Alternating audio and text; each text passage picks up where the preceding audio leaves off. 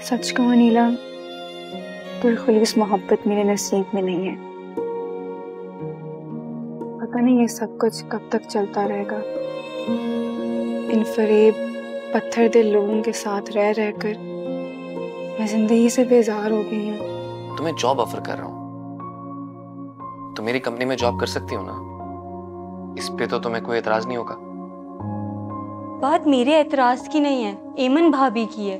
उन्हें ये अच्छा नहीं लगेगा। चाचा उसको बिज़नेस के लिए पैसे चाहिए। वो कह रहा है कि अगर मैं नहीं उसे दूँगी तो वो ये रिश्ता खत्म कर देगा। उसने ऐसी बात कही है। बहुत ही घटिया बात की है उसने। चाचा मैं ये रिश्ता बचाना चाह रही हूँ। हर हाल में बचाना चाह रही हूँ। तो बचाओ। हम कब कह रहेंगे इसे तोड़ दो?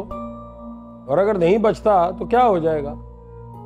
पहले भी इसी घर में बैठी हुई हो फिर इसी घर में बैठी रहोगी।